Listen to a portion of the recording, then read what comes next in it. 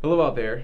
I'm Tony Baker, and joining us today is Mark Cabaniss. Hi, Mark. Hi, Tony. It's great to be here. Thanks for being here. Uh, we're going to be doing another edition of Word Music's digital reading sessions today. We're very excited about this new format to share our new music with you.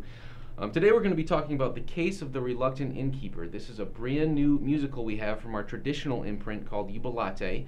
Mark, can you give us a quick introduction? Absolutely, Tony. Uh, the Reluctant Case of the Reluctant Innkeeper is a 20-minute musical for kids.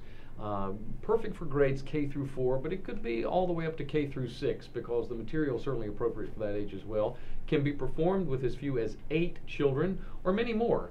Uh, you could perform it with 50 kids. You know, there's enough to go around there.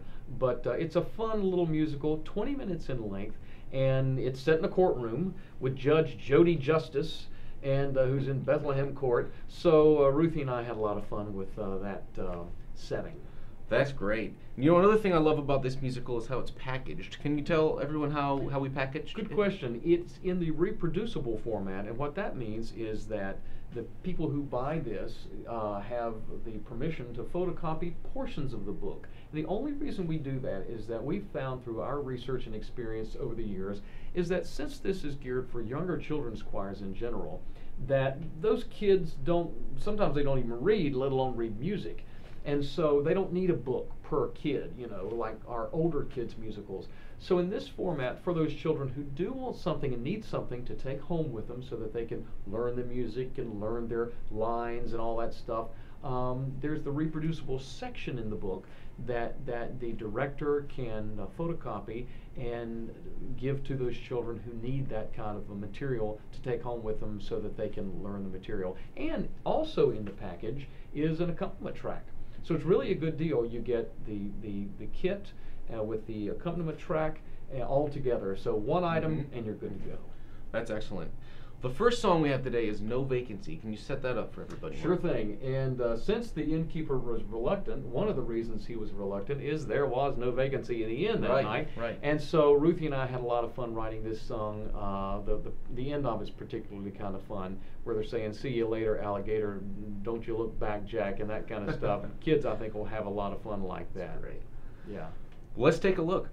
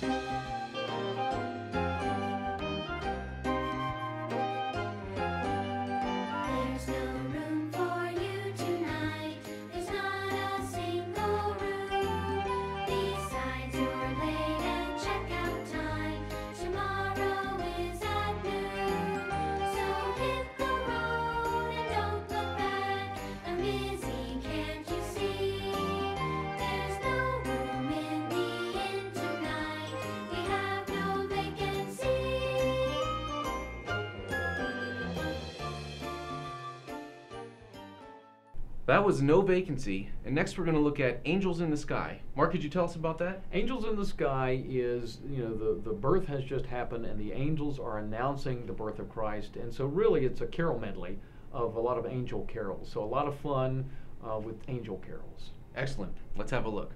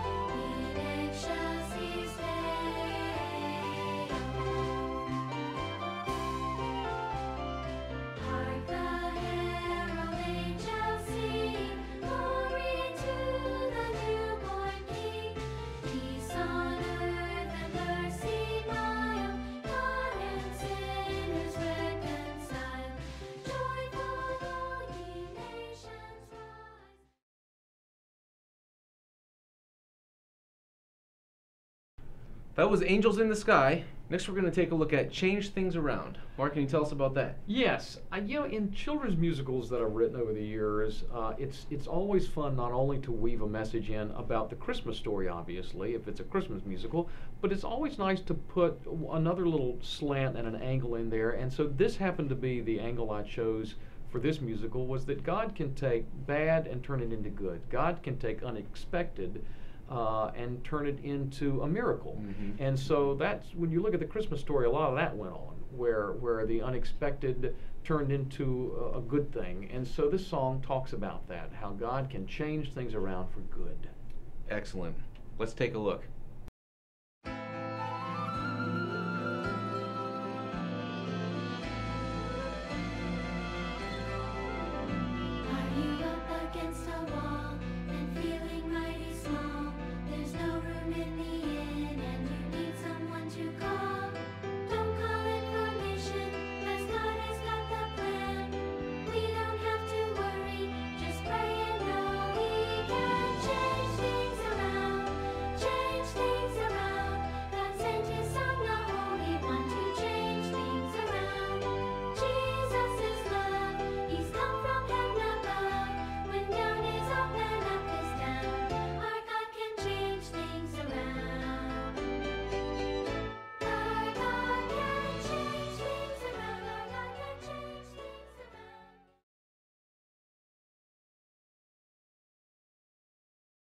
Well, that was a lot of fun.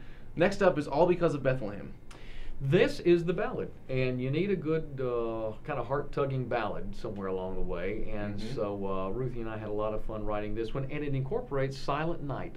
So uh, Christmas is always special when kids sing Silent Night. So.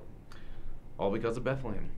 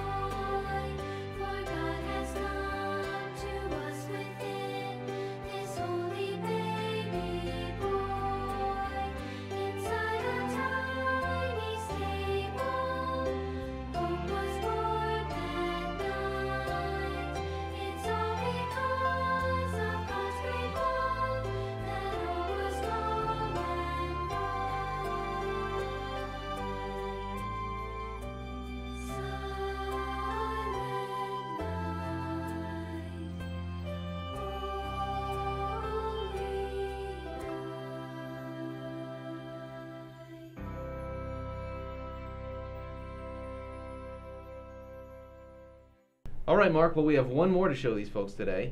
Um, can you tell us about the closer? Sure. The uh, closing song is "Joy to the World," and uh, it's such a you know it's a classic, of course, a Christmas classic. So we thought it'd be fun to enter with or exit with just a wonderful proclamation, and then there's a little quick tag-on reprise of the song "Change Things Around," which kind of uh, underscores one of the, the underlying messages of the musical. Excellent. Let's hear it.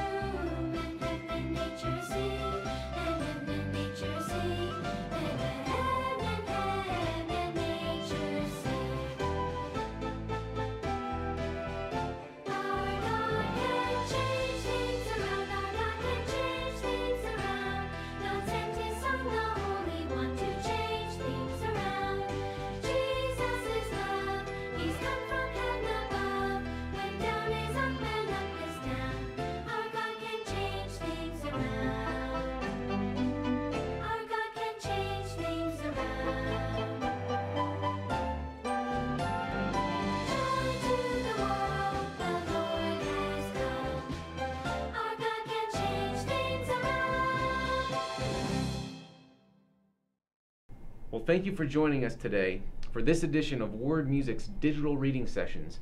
Um, again, this was The Case of the Reluctant Innkeeper by Mark Cabaniss and Ruth Elaine Schram. Thanks very much. Have a great day.